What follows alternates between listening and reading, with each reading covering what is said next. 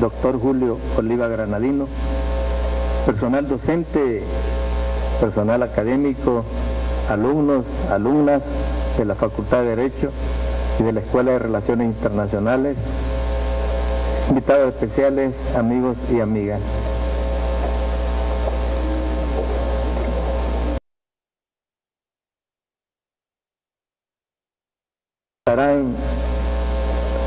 Qué hace un vicepresidente en la Universidad Nacional. O, por qué no decirlo, qué hace un candidato a la presidencia en la universidad. Primero quisiera compartir con ustedes que cada vez más en mi calidad de maestro,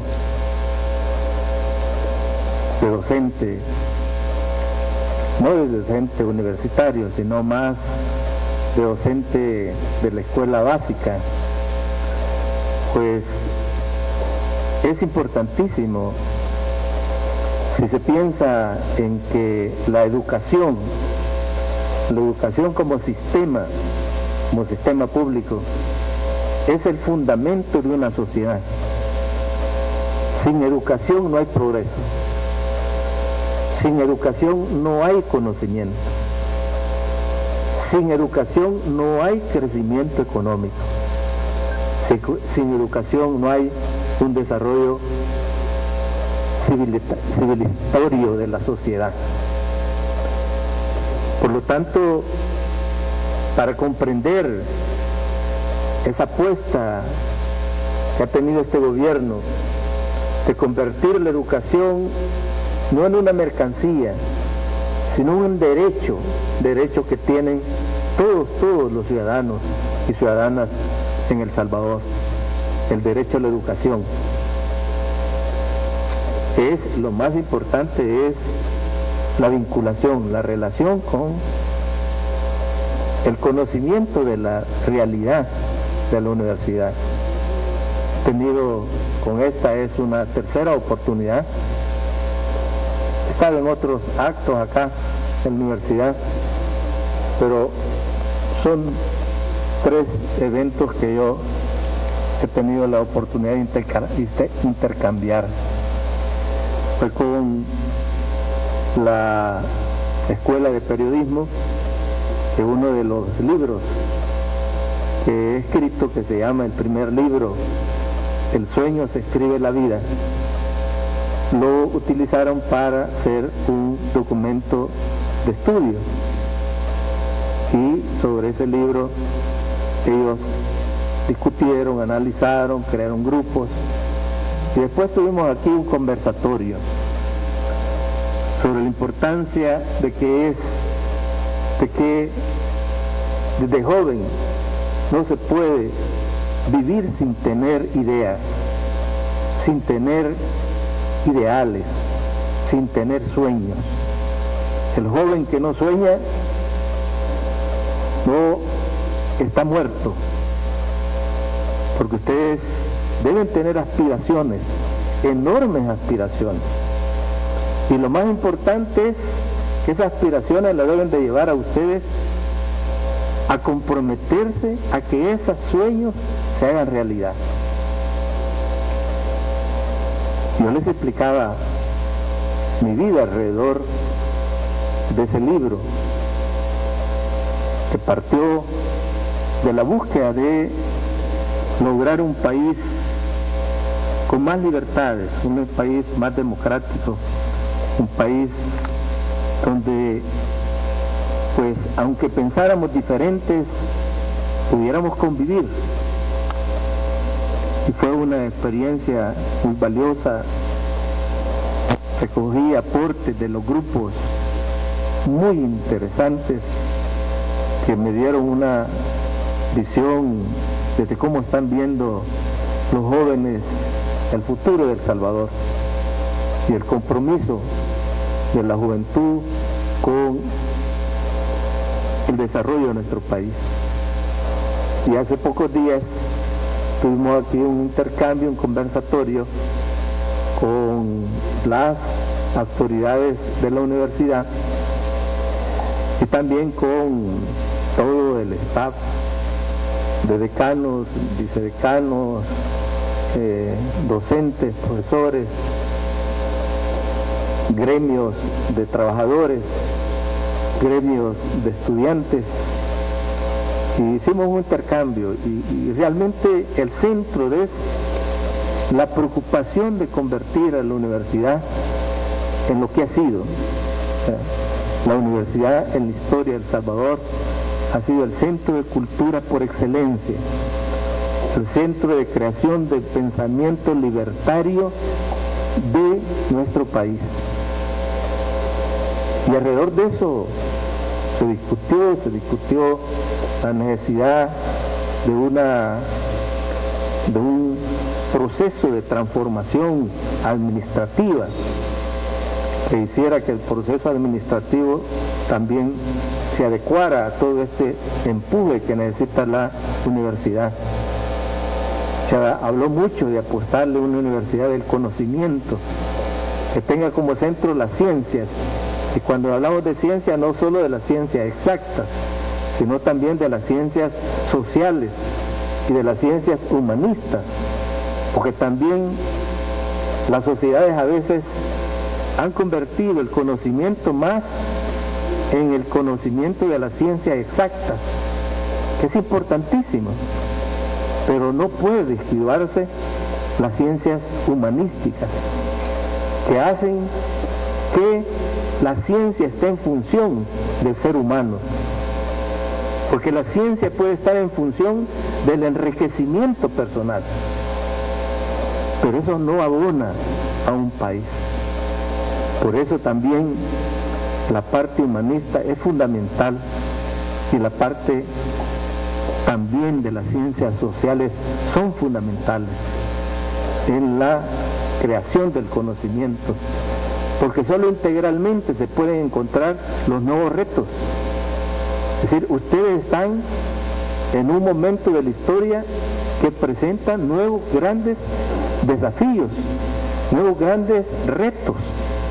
Y por lo tanto deben de estar ustedes en la adquisición del conocimiento, los conocimientos más avanzados de la época, para que también puedan integrarse a esa sociedad que también está sometida a esos conocimientos. Por ejemplo, el derecho internacional. Ahora el derecho internacional eh, está sobre la base también de ciertos eh, principios de política internacional como la libre autodeterminación de los pueblos, pero también en América Latina se está creando una nueva relación, una nueva relación entre los países, que es más solidaria, que es más de la búsqueda de integración. El fenómeno de integración requiere también de que las ciencias sociales se adecue también a los fenómenos de integración.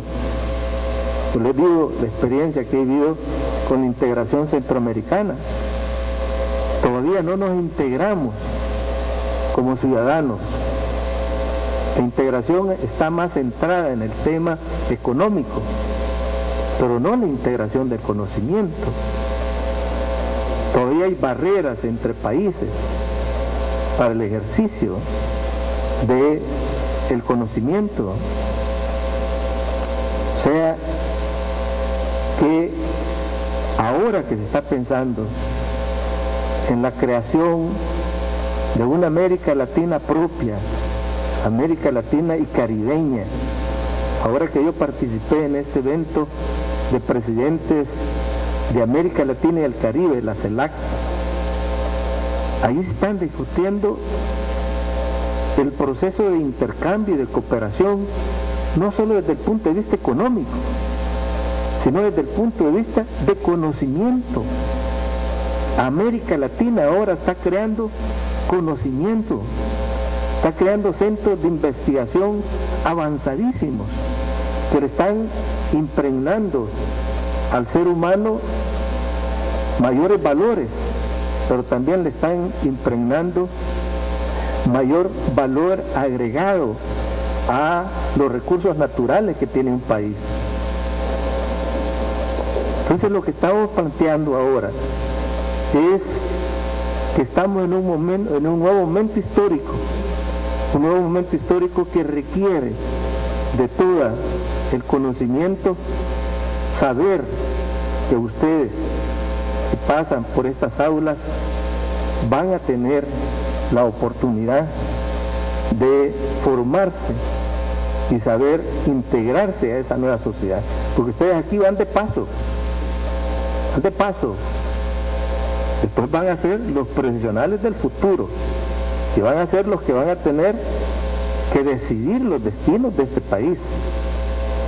Y en la medida de que se les provea de los mejores conocimientos, ustedes van a estar en mejores condiciones de integrarse a esa nueva relación que hay ahora entre la sociedad y el ser humano, y el ser humano y el conocimiento, y el conocimiento, el desarrollo, el desarrollo de nuestros países. Eh, esa, esa reunión, yo les quisiera decir que todos, todos los rectores, todos los estudiantes de las universidades están totalmente puestos en esa visión. hay una total voluntad de todo el cuerpo docente, directivo, administrativo de la universidad de responder a esos nuevos retos. O sea, ahí tiene que ver el tema del Estado. Es decir, si el Estado no proporciona los recursos adecuados, también la universidad se ve limitada y hace lo que puede, y hace lo que puede con los pocos recursos que tiene. Entonces tiene que haber una estrecha relación entre el Estado y entre, en este caso, la Universidad Nacional, que es la universidad pública del Estado. O sea, nosotros tenemos un sistema público que va desde la educación básica hasta la educación superior. Pero también el Estado tiene que invertir más en educación y tiene que invertir más en educación superior, que es la que está más necesitada. Y es donde si nos medimos las oportunidades para los jóvenes. Ustedes son, perdonen que se los diga, son privilegiados de tener la oportunidad de accesar a la educación superior. Hay cientos de jóvenes que no pueden, no pueden accesar a la, educación superior. Eh, solo de un 100% que entra a la universidad, que entra al sistema público, solo un 24% tiene oportunidad de accesar a la educación superior. Eso no puede ser en este país. Si realmente queremos que este país se desarrolle, necesitamos hacer mayor inversión. Mayor inversión. Y eh, eh, eh, en muchos países, pues entre el gobierno y la Universidad Nacional hay una comunicación y una relación fluida. Aún los presidentes los presidentes permanentemente visitan la, universidad y convierten el centro de la universidad en el centro de debate, en centro de discusión de los principales problemas que tiene el país. Creo que eso debe ser. Yo cada vez voy comprendiendo más, primero por mi calidad de docente, que tenemos que convertir a la Universidad Nacional verdaderamente en el centro de generación de cultura, en el centro de generación de conocimiento y en el centro que siempre ha sido el centro de generación de pensamiento libertario, de pensamiento progresista y de pensamiento que permita responder a los grandes retos que tiene el país. Por eso también pues estar acá como candidato es asumir el compromiso de, al llegar a la presidencia, de, de establecer una relación más estrecha con el nivel superior de conocimiento. Ustedes saben que el país atraviesa por grandes temas polémicos.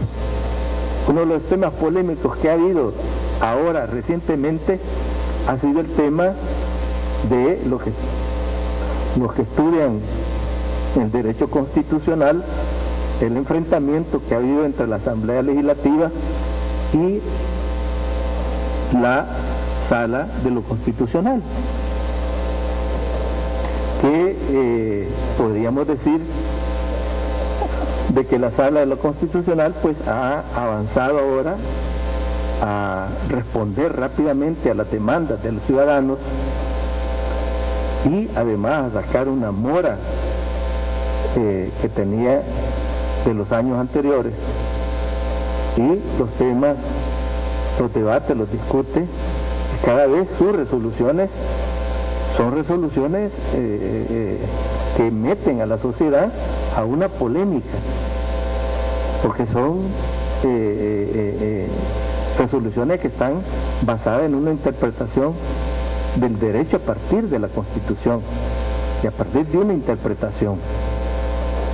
Pero también el arrogarse a mandatar a otra institución, como es la Asamblea Legislativa, uno, se pregunta, bueno, ¿de dónde queda el principio del equilibrio de poderes?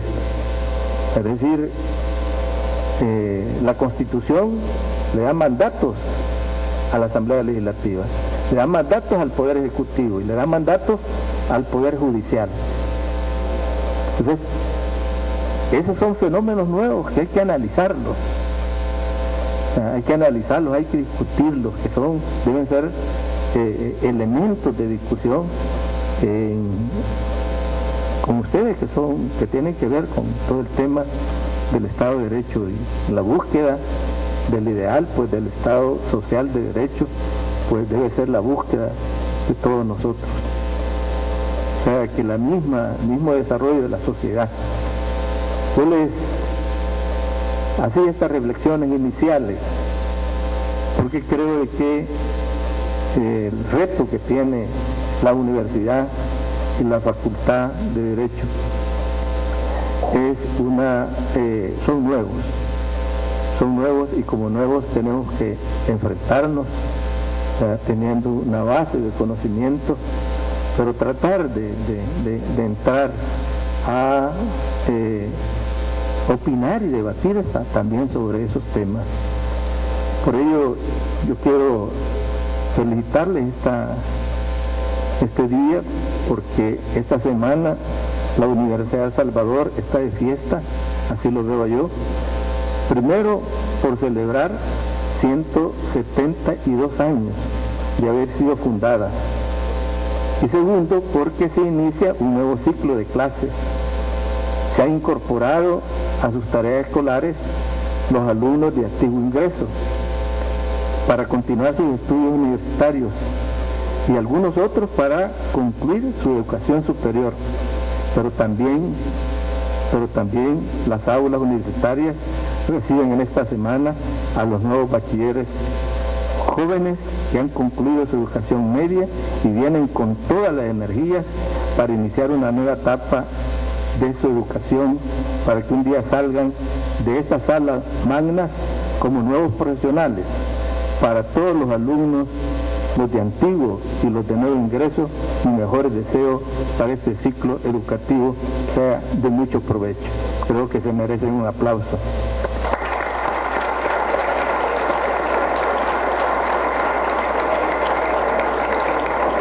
Estimados profesores, queridos estudiantes, la historia de la Universidad de El Salvador es la historia de la lucha, del conocimiento contra la opresión, de la verdad contra el látigo de la ignorancia.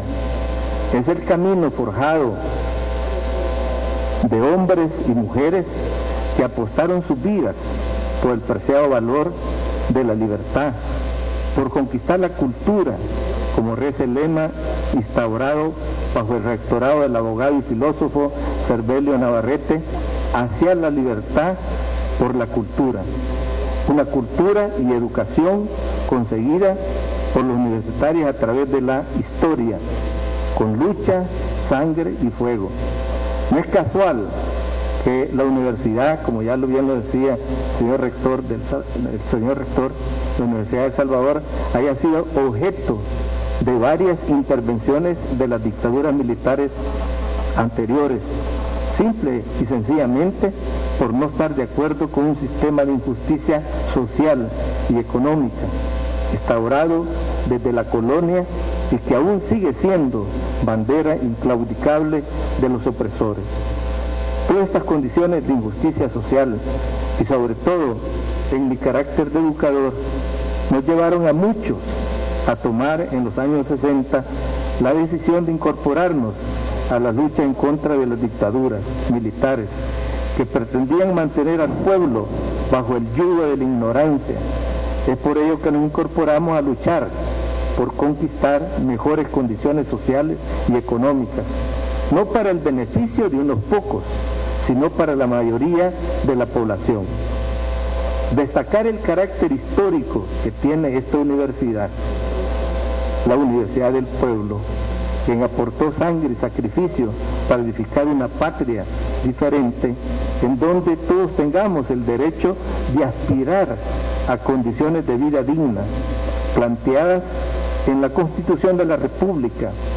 La deuda de sangre que tenemos con la universidad es insaldable, porque fue la semilla para cosechar el país diferente, libre de opresión, más justo y democrático. Debemos a la universidad el haber sido madre nutria de nuestras ideas libertarias. Fue precisamente en las aulas de la Facultad de Derecho en donde se formó Farabundo Martí, Luna y Zapata, y nuestro recién fallecido líder Cafí Jandas, teóricos de la talla de los doctores Sarbelio Navarrete, Reinaldo Galindo Pol, José María Méndez, Guillermo Manuel Ungo y muchos otros. Como educador estoy convencido que solo un país que le apueste a la educación, a la cultura, al ser humano en términos integrales, podrá salir adelante y lograr que sus ciudadanos alcancen un mayor y mejor nivel de vida. Estimados jóvenes, cuando se habla del proceso educativo, se que debe impulsarse en El Salvador, estamos refiriéndonos a que debe ser algo integral, que debe revisarse los planes, programas y acciones en todos los niveles educativos, incorporando en este concepto a la niñez con, la, con el programa de educación inicial. En cada nivel debe de dotarse de los recursos humanos, técnicos, tecnológicos y financieros que hagan posible el cumplimiento de metas del proceso educativo. En el pasado, la educación no se le daba la importancia que tiene. Se veía la educación como una mercancía.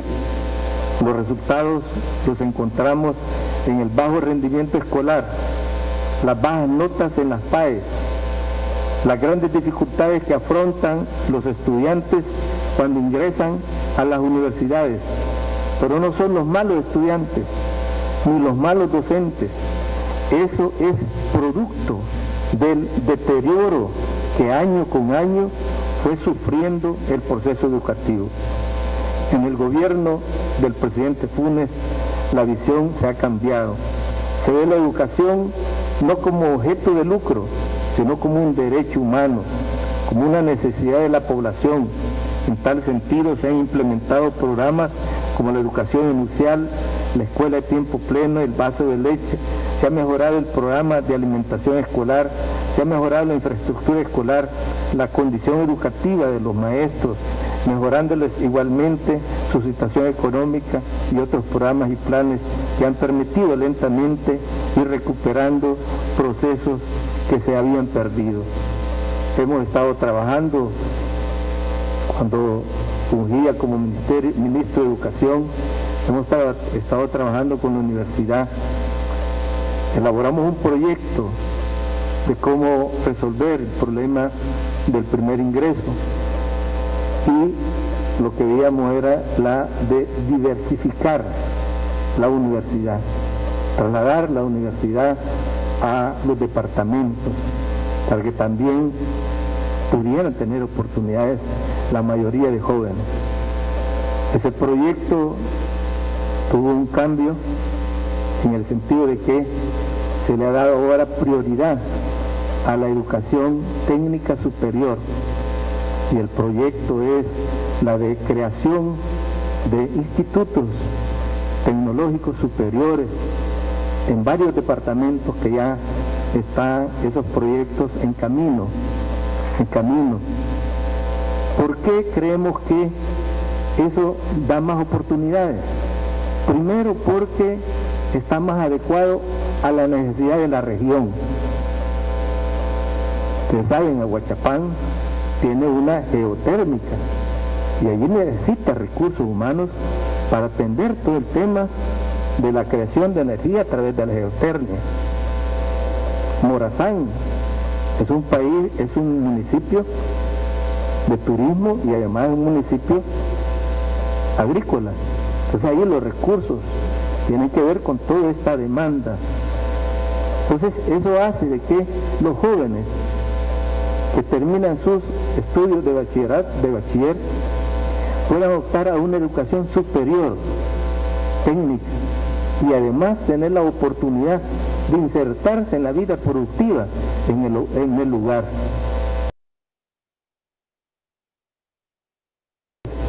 Hay que dotar de infraestructura, ya los programas están elaborados, pero eso va a hacer que va a resolverse una gran parte del problema del ingreso de la universidad central, ya que esa demanda va a ser mucha de ella absorbida en los departamentos. También eh, hemos estado trabajando en un proyecto que también ya está elaborado, que todo el problema de investigación, de innovación, de ciencia, que va a requerir también, va a requerir también de eh, la adecuación de todo el, Estado de Derecho a esas nuevas situaciones que se vayan generando con la creación de nuevas eh, eh, para el desarrollo del país. Sabe que se está encaminando a lograr eso que les decía yo eh, que vi en esta reunión de la CELAC.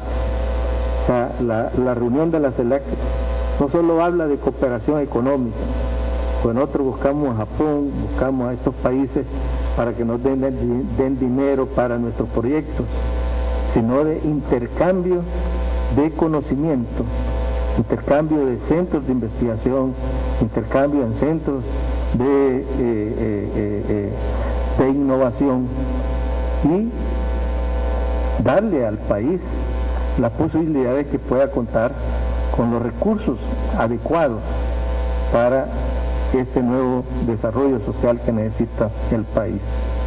Por ello, yo quiero decirles que aunque eso se ha hecho, falta mucho por hacer, pero este es un proceso en el cual todos y todas debemos participar, alumnos, maestros, instituciones educativas, gobiernos locales y gobierno central. La Universidad de Salvador, estamos claros, tiene muchas falencias, ustedes la conocen, la viven, le falta infraestructura, le faltan docentes, le faltan bibliotecas, debe dotársele de las últimas tecnologías del mundo moderno, le hace falta un presupuesto adecuado que le permita atender a los estudiantes con todo todos los elementos necesarios para una buena educación que le permita hacer investigaciones en provecho para el país y así poder graduar profesionales exitosos.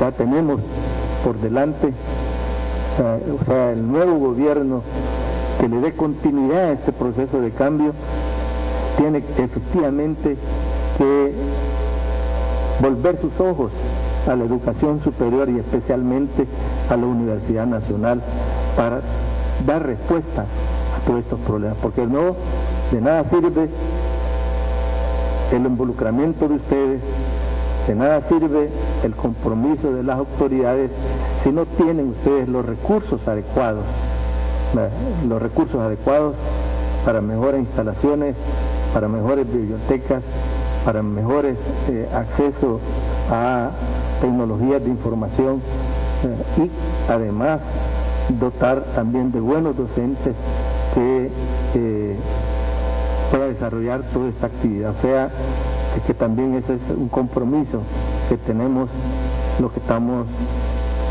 pensando en conducir a este país, de que no podemos progresar, no podemos desarrollarnos si la educación superior está, sigue estando sin el respaldo y sin el apoyo del gobierno.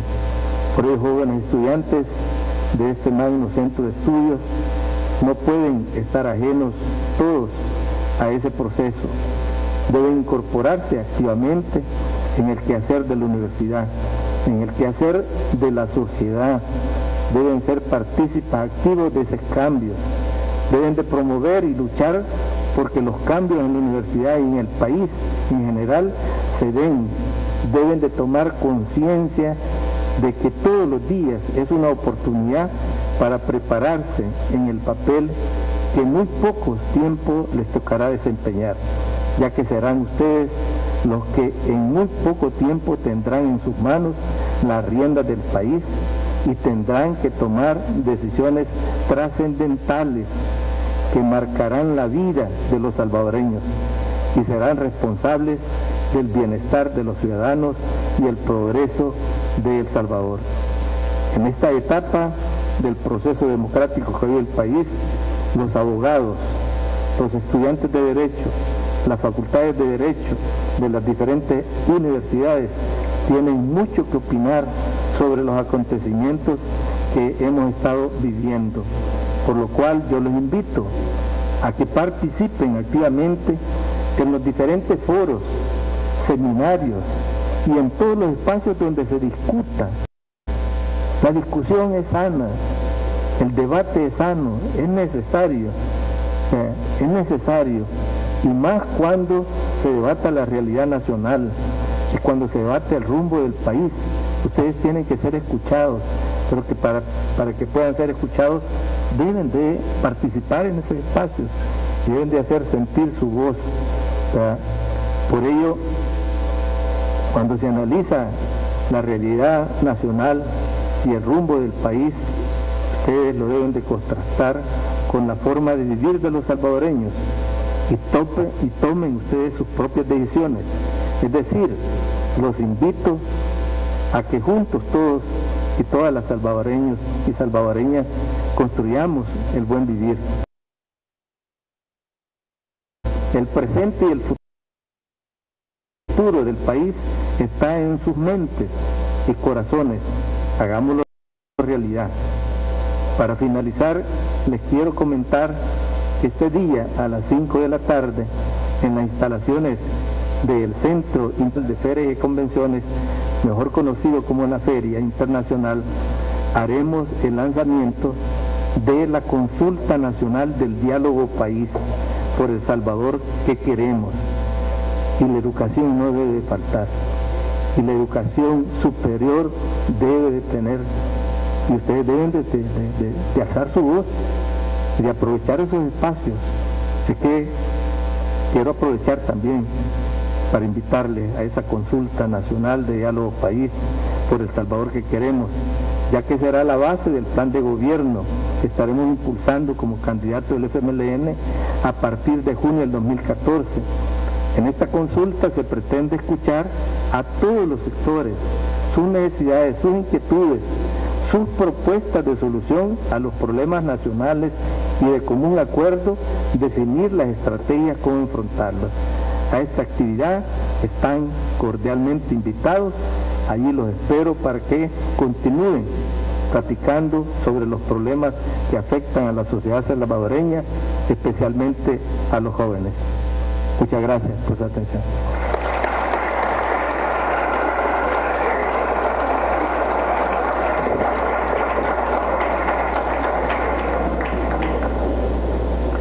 Muchas gracias al profesor Salvador Sánchez Serén, vicepresidente de la República del Salvador, por su conferencia.